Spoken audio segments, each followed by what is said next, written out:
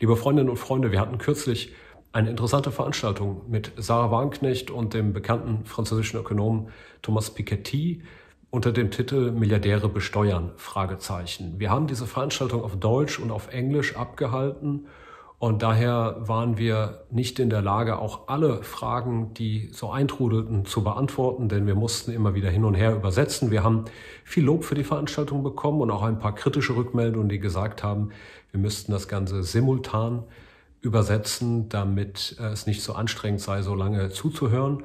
Das stimmt, das war uns auch vorher klar. Diese Möglichkeit stand für die Veranstaltung leider nicht zur Verfügung. Wir werden das aber versuchen, in Zukunft umzusetzen.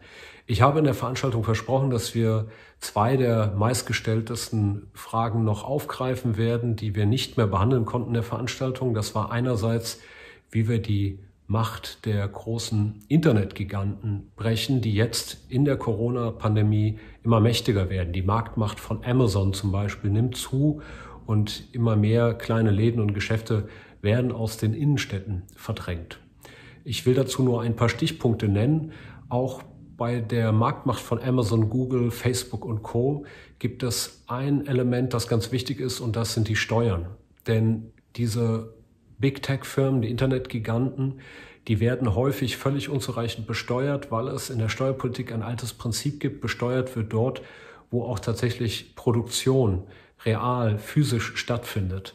Und das ist bei diesen Unternehmen natürlich nicht der Fall, weil Amazon sagt, wir produzieren ja gar nichts, wir verteilen nur Pakete. Oder Facebook arbeitet mit unseren Nutzerdaten. Wenn etwas umsonst ist, bist meistens du das Produkt. Facebook ist nicht gratis, denn sie lesen natürlich unsere Informationen aus und versuchen damit Werbung zu machen oder jetzt sogar ein eigenes Geldsystem aufzubauen. Und ganz ähnlich ist es auch bei Google, die natürlich auch darüber entscheiden, was wir lesen und denken, weil es eben nicht äh, dem Zufall überlassen ist, welche Suchbegriffe oder welche Suchergebnisse angezeigt werden, wenn wir einen Suchbegriff bei Google eingeben, sondern das hängt natürlich davon ab, ob das Kunden sind, die Werbung schalten. Das hängt vom Algorithmus ab. Und das ist ungefähr so, wie wenn wir früher das äh, Telefonbuch, das es gab, wenn da nicht mehr jede Telefonnummer drin erscheinen würde, sondern nur noch die, die genug Geld bezahlt haben oder die Google irgendwie äh, passen. Und das würde natürlich dazu führen, dass ein paar Menschen von der Kommunikation völlig abgeschnitten werden. Von daher ist es auch in den Zeiten des ach so freien Internets so, dass natürlich die Macht dieser Konzerne auch im Endeffekt auch äh, unsere Demokratie beeinträchtigt, weil sie darüber entscheiden, was wir noch zu lesen bekommen und äh, auch unser privates Leben, unsere private Kommunikation, äh, unsere Daten weitgehend kontrollieren. Und es gibt viele Instrumente, die man klassischerweise gegen Kartelle anwenden kann. Beim Beispiel Amazon, man könnte zum Beispiel, wenn man noch eine staatliche Post hätte, sagen, wir befördern nur bestimmte Höchstmengen von Amazon, denn es kann ja nicht sein, dass die für eine elektrische Zahnbürste einen äh, leeren Kleinbus durch die Stadt fahren lassen und wir in den Innenstädten einen Verkehrsinfarkt haben. Diese Instrumente stehen uns aber nicht mehr zur Verfügung, weil zum Beispiel die, die Zulieferindustrie weitgehend privatisiert und liberalisiert wurde. Und deswegen müssen wir auf andere Instrumente zurückgreifen. Und äh, ein Prinzip, das eben diskutiert wird, diese digitale Besteuerung, wäre, dass man Konzerne stärker am Ort der Umsätze besteuert.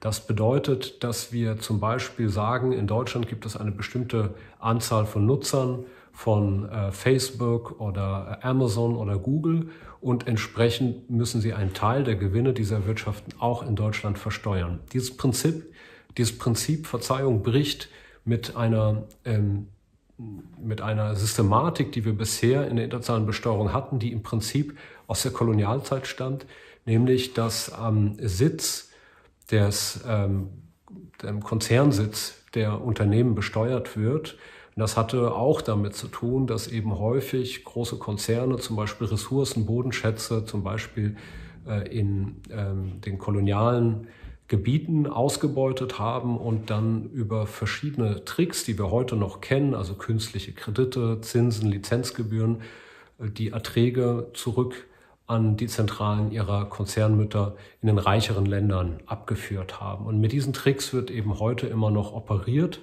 Das heißt, dass dann zum Beispiel Amazon, wenn es in einem Land äh, Gewinne erwirtschaftet, sich eine Tochter in einer Steueroase hält, die dann zum Beispiel ein, äh, an, an Amazon in Deutschland das äh, Lizenzrecht ausreicht, also unter dem Label von Amazon aktiv sein zu dürfen. Und dann zahlt Amazon Deutschland zum Beispiel an Amazon Irland, das ist jetzt ein völlig fiktives Beispiel, eine Lizenzgebühr und damit werden dann Gewinne aus Deutschland nach Irland verschifft. Und es gibt unterschiedliche Lösungen für dieses Problem, aber im Bereich der digitalen Besteuerung wird eben darüber diskutiert, dass man sagt, jetzt wird stärker am Ort der Umsätze besteuert. Es gibt Gründe, warum sich zum Beispiel auch die Bundesregierung dagegen gewendet hat, denn sie befürchtet, dass dann zum Beispiel die deutsche Automobilindustrie, die eben sehr stark exportiert, auch in China oder Indien stärker besteuert wird. Aber das gehört eben dazu, dass wenn wir die internationalen Besteuerungsrechte neu aufteilen wollen, dass dann eben auch die Länder, deren Infrastruktur und Absatzmärkte genutzt werden, stärkere Besteuerungsrechte haben. Und Deutschland ist ja einer der größten Binnenwirtschaften der Welt. Das heißt, äh, für uns äh, käme in anderen Bereichen dafür auch mehr Besteuerungsrechte heraus. Entscheidend ist, dass am Ende eben auch äh, die Konzerne effektiv mehr Steuern abführen und es nicht dazu kommt, dass sie am Ende weniger Steuern abführen. Und dann haben auch tatsächlich alle davon etwas. Die Frage, äh, wie man zum Beispiel die Macht von Facebook beschränken kann, die führt bis in das Finanzsystem. Dort gibt es zum Beispiel eine Diskussion darum, ob wir nicht eine staatliche digitale Währung bräuchten. Übrigens nicht als Ersatz, sondern als Ergänzung des Bargelds, weil eben immer mehr Menschen in der Supermarktkasse mit Apple Pay zahlen oder Facebook eben zukünftig auch eine eigene Währung entwickeln wollen. Wir wollen das äh, verbieten, wir wollen das nicht zulassen in Deutschland als Linke, aber wir müssen eben auch gucken, dass wenn äh, zum Beispiel Barzahlungen immer mehr zurückgedrängt werden, dass wir dann eine eigene Technologie mit einem eigenen Datenschutzniveau haben, die eben der Kreditschöpfung der Banken einerseits entzogen ist, aber andererseits auch den Zugriff großer Technologiekonzerne. Das heißt, man könnte dann zum Beispiel Guthaben bei der Europäischen Zentralbank halten. Das gab es übrigens früher einmal. Früher konnte man ein Konto bei der Bundesbank halten. Das können jetzt nur noch die Mitarbeiter der Bundesbank. Und die Guthaben dort wären faktisch so sicher wie Bargeld. Denn Bargeld ist ja nicht sicher, weil es Papier oder Scheine sind, sondern weil es eine Garantie der Zentralbank hat und die Zentralbank kann in der eigenen Währung ja faktisch nie pleite gehen.